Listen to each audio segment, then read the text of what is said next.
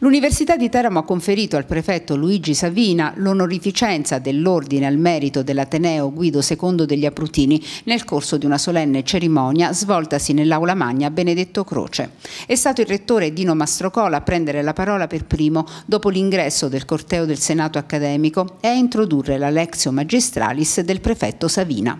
Chietino di nascita, Savina si è laureato all'Università di Teramo, ha diretto la squadra mobile della Questura di Palermo, il centro interprovinciale Criminal Pol di Napoli e la squadra mobile della Questura di Milano. Oggi riveste il prestigioso ruolo di vice direttore generale della pubblica sicurezza con funzioni vicarie. Attenzione massima all'Abruzzo, dichiara Savina, dove in tema di sicurezza la guardia non va mai abbassata. Oggi qui rivedrò il procuratore generale, ricordo giovane sostituto a pescare negli anni 90 quando c'è stato un primo tentativo di aggressione ehm, di natura mafiosa verso l'Abruzzo, la risposta però data all'autorità giudiziaria da noi investigatori con una serie di, di provvedimenti di cattura eh, per 416 bis, quindi l'attenzione c'è sempre stata massima. E oggi il riconoscimento da parte dell'Università di Teramo? Un riconoscimento che, che prendo io come Luigi Savina con grande onore perché 40 anni fa, il 16 marzo 79 mi sono laureato in questa università